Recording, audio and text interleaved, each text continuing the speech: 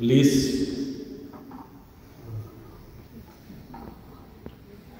eu te batizo em nome do Pai e do Filho e do Espírito Santo. Amém.